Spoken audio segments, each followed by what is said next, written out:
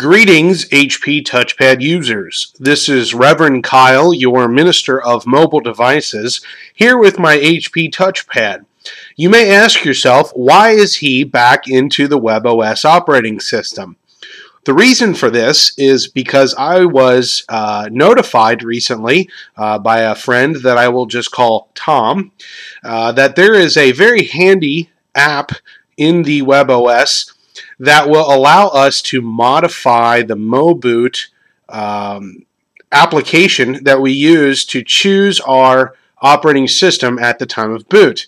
Now, in order to do this, you do have to have preware in, installed already on your WebOS.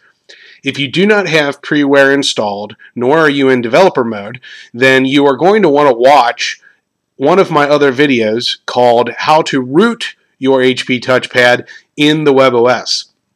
So let's get started here. Uh, I'm going to go in and find my Preware app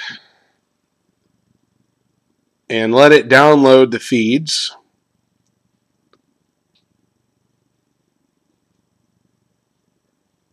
Okay, so now what we're going to do is search for this application. Uh, it is called Cyboot, and that is C-Y-B-O-O-T. Well, it would help if I typed the T. C-Y-B-O-O-T, and I will press enter. And here it is. So I'm going to choose this, and it's going to tell us what options it's going to give us. It allows you to manage the settings for the MoBoot bootloader. You can choose a default OS, choose an OS to boot directly to on the next restart, choose a timeout for how long the bootloader waits before booting the default OS, and restart your device. These are all things that somebody has requested from us uh, over the course of the last couple months. So I find it very interesting that a WebOS app has been designed to accommodate all of these needs. So I'm going to go ahead and install this and see what type of results we get and the application has been installed. So let's go back out and we'll go back to our menu and I'm assuming there it is, Cyboot. So currently it looks like my boot default is Android and that my next boot, well it says none because I didn't uh, tell it anything special. And the timeout looks like it's five seconds. Uh, that's one that has been a, a uh, complaint from many people. And so I'm going to go in here and I'm going to change this. Well, let's uh, change it to 10 seconds.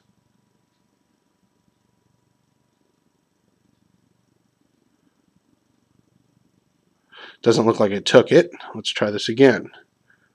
1, 0, save. Hmm, okay. Maybe it doesn't like two characters, so let's try 9. Save. Okay, so it looks like there's a limitation of one character here. I don't know if maybe I'm doing something wrong or if that's just a limitation of the coding. That's fine. Either way, 9 seconds is almost twice as long as we had before. Now, I am running Android. Uh, I am currently on the 2.1 alpha of the Cyanogen mod, and I do have it defaulting to Android, but I'm going to see what my options are here. It looks like I have WebOS or Android. I'm going to choose WebOS because it's different than what I have now. Uh, it also does not appear that the option to automatically boot into Clockwork Recovery exists. However, I can't imagine anybody actually wanting to automatically boot into that. So I'm going to save these options. Settings has saved. Hit OK. And I'm going to exit this and now I'm going to reboot my device and I'm actually going to go into settings and device info, reset options, and restart. And let's see what we get.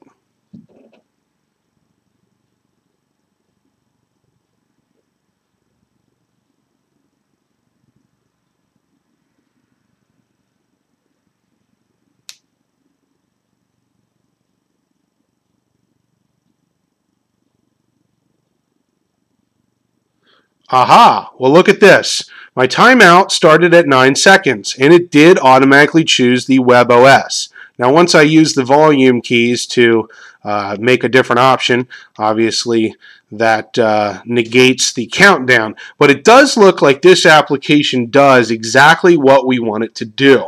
And so uh, one reason, at least one reason, why you may want to go and check in on your WebOS and download this very handy tool.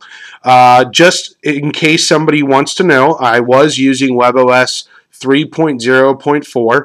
However, I don't see any reason why this wouldn't work on a 0.3 or uh, the elusive 0.5.